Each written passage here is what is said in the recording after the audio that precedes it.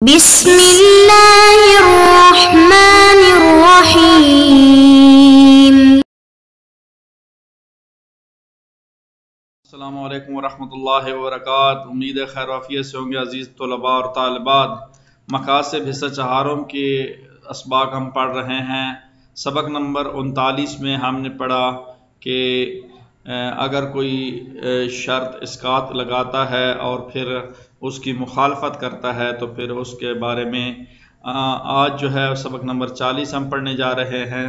उसमें उसी के कुछ दुम्बाला और कुछ उसी का हिस्सा पढ़ेंगे इन और उसको इस इबारत से हम शुरू करते हैं। बाकी अलकलाम फ़ी मशहूर से। आए बिस्मिल्लाह शुरू। बाकी अलकलाम फ़ी मशहूर तासीर।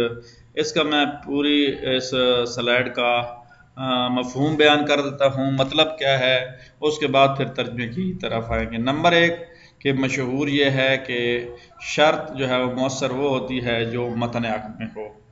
एक बात, दूसरी बात, जो अक़द से पहले कोई शर्त रखे, वो मुफीद नहीं है फ़ायदा मंद नहीं है। दो इस दूसरी दल, बात पर दलाइल।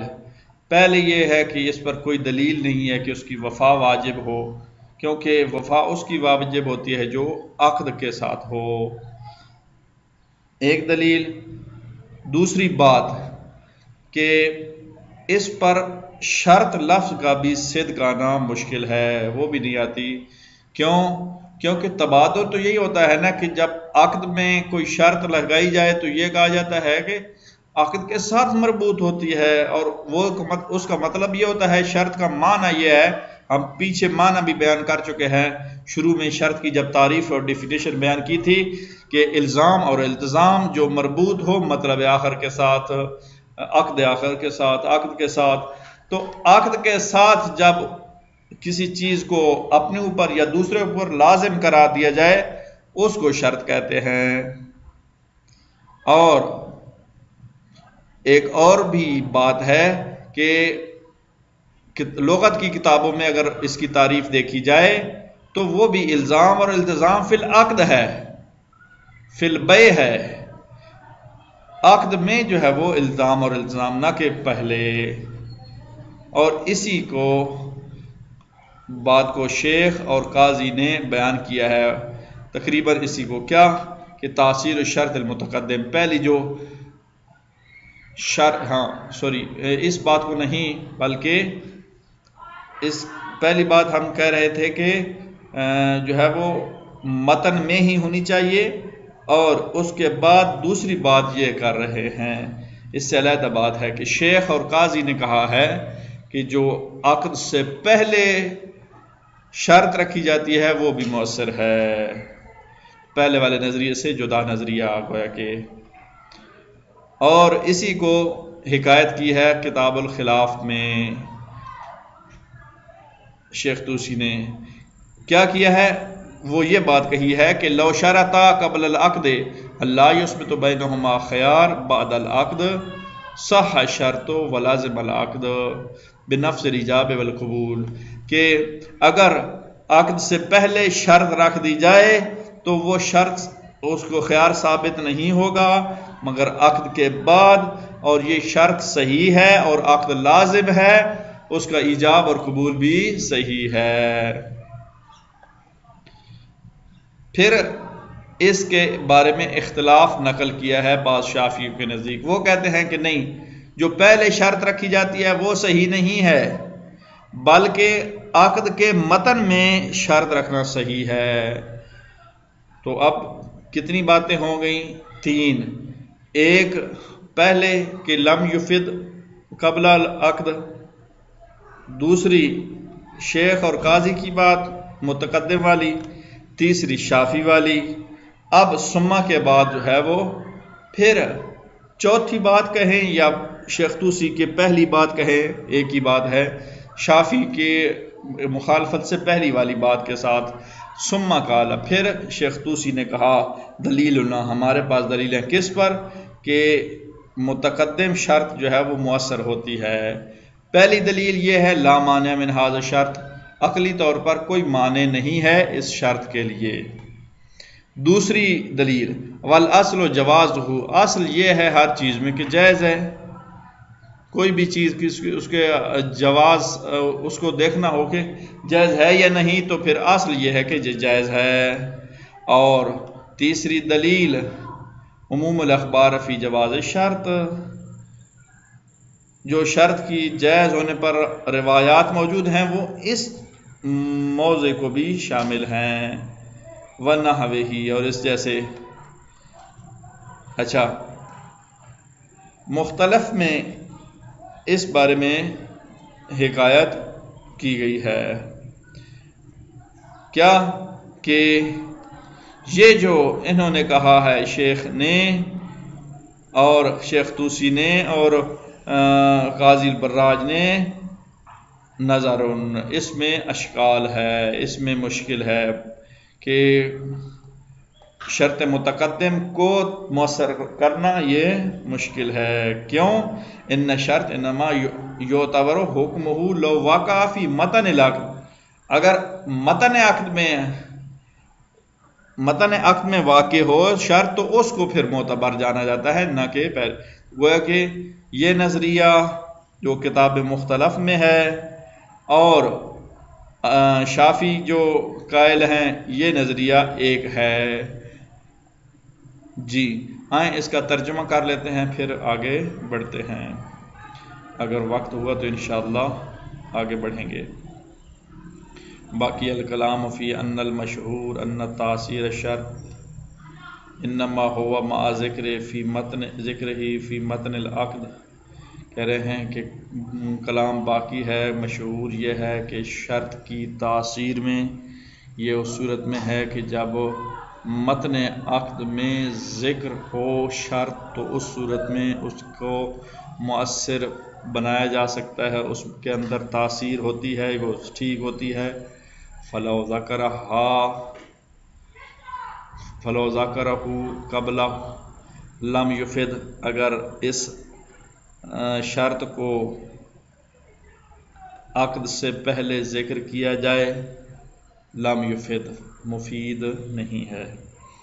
दलील क्या है? ले अदम दलील अला वजूबिल वफ़ा, के इस पर कोई वफ़ा वाजिब होने पर दलील नहीं है। क्योंकि अकद के वफ़ा पर दलील है। अकद से पहले कोई चीज़ अगर हुई हो तो फिर उस पर वफ़ा वाजिब नहीं। है वसद को शर्त अला गैर मजकूर और शर्त का लफ्ज़ सादिक भी नहीं आता। फिल अकद अकद जो इसमें जो ज़िक्र की गई है, शर्त सादिक ही नहीं आती। भाई, अकद में शर्त रखी है या नहीं, कोई कहे तो अकद शर्त के साथ है या नहीं, वो उस शर्त के साथ होगा जो शर्त अकद के साथ हो, मिली हुई हो। जो शर्त पहले हो अकद से, वो तो उस पर सादिक ही नहीं आती। क्यों? गैर साबित ये साबित ही नहीं है अकद के साथ। क्यों साबित नहीं है? लैनल मुतबादर, क्योंकि इस शर्त का सिद्क जो है, उर्फी तौर पर नहीं है। वो क्या है? उर्फी तौर पर तो तबादर ये है कि इल्ज़ाम वाल इल्ज़ाम अलमरतब तो बेमतलब नाखर ये है तबादर उर्फ़ी शर्त का। जबकि यहाँ जो है वो शर्त मुतकदम है तो उर्फ़ी तबादर ही हासिल नहीं है। और तीसरी बात वक़्त तकदमा अनिल कामूस, किताब कामूस, लगत की जो किताब है उसमें गुजर चुका है। क्या गुजर चुका है? उसकी डेफिनेशन गुजर चुकी है शर्त की। अन्ना इल्ज़ाम वाल इल्ज़ाम फिल बे में किसी चीज़ को अपने ऊपर लाजम करा देना या दूसरों पर लाजम करा देना। जब अकद बे से पहले कोई चीज़ हो तो उसको नहीं कहते।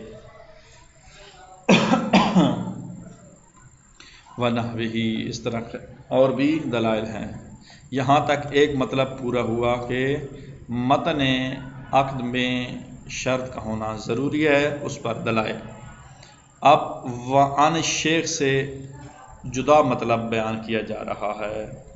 वो ये है कि वान शेख अल वलकाजी तासीर शर्तमतकदम कि जो मतन अकद से पहले शर्त रखी गई होती है, उसकी तासीर के कायल है।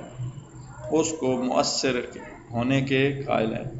काला फ़ी माह की अलखिलाफ़ किताब खिलाफ में इसकी हिकायत भी की है। शेख, तुसी कहते हैं कि उन्होंने हिकायत भी की है। वो क्या किया है? कौन सी हिकायत थी? वो ये है, लो शरता कबल अकद अल्ला युस्बिता ख़यारा बादल अकद, सह शर्त वलाजमल अकद बेनफसर ईजाब वलकबूल के अगर अकद से पहले शर्त रख दी जाए और उस शर्त को साबित ख्यार साबित नहीं होता, मगर अकद के बाद यानी अकद के बाद जो है वो ख्यार साबित होता है। जब ख्यार साबित होता है तो सह शर्त, ये अक्त से पहले शर्त लगाना सही है।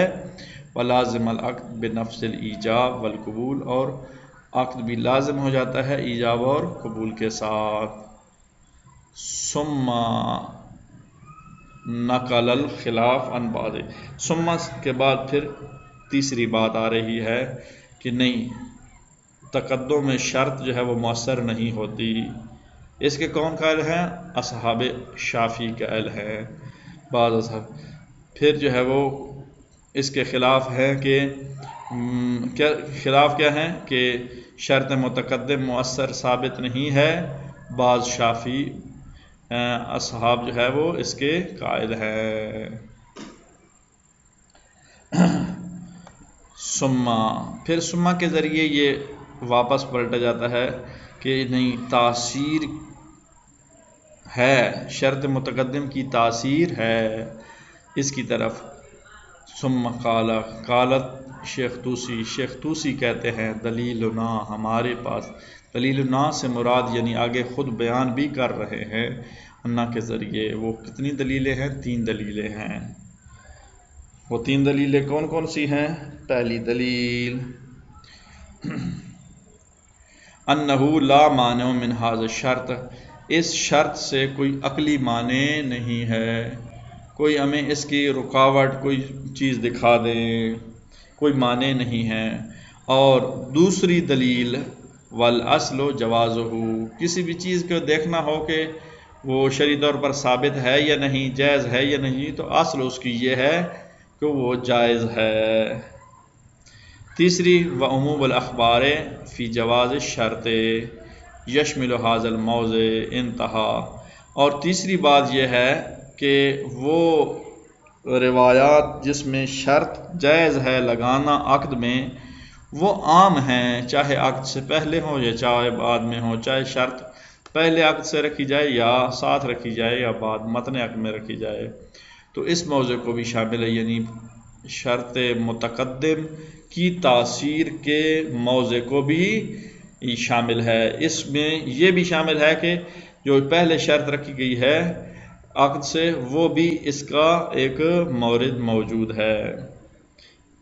वना वही अलमाह की अनिल जवाहर काजी, इसी तरह की हिकायत की है जवाहर काजी ने।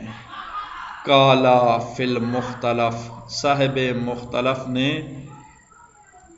कहा है। क्या कहा है? अलामा हका अन हो जो हिकायतें आप लोगों ने की हैं ना, जो आपने बयान किया है, बाद हजाले का इसके बाद व इन दीफी ज़ाले का इन्हीं में नज़र इन्हीं जो आपने हिकायतें की हैं मेरे नज़दीक अशकाल है। नज़र का माना अशकाल होता है और नज़र उन का माना यहाँ ये भी होता है कि जो आपने बात की है, मेरी राय उससे हट के है। नज़र नज़र उन जब भी आता है तो नज़र का माना दोनों वजह हो सकती हैं। जो पहले बात हो, उसकी मुखालफत या दो सूरतें हैं, ये पर अच्छा यहाँ फिर क्या होगी? यहाँ होगी कि फिर नहीं, मतन अक़द में शर्त का होना लाजिम है। क्या? वो ये है नज़र फ़िन शर्ता इनमा यबरो हुक्म हो कि शर्त को महकूम करना, हुक्म लगाना मोतबर है। कब? लवाका फ़ी मतन अक़द जब मतन अक़द में कोई चीज़ मौजूद हो। तो उस सूरत में वो शर्त मोतबर होती है, वरना काबिल कबूल नहीं होती। लिहाजा साहिब मुख्तलफ के नज़दीक जुदा है नज़रिया, उनके नज़दीक मतन अक़द में शर्त रखी गई तो वो काबिल अमल है मौसर है, तासीर उसकी होती है। वसल तैर खलक महमद व तयबीन ताहरीन जजाकल्ला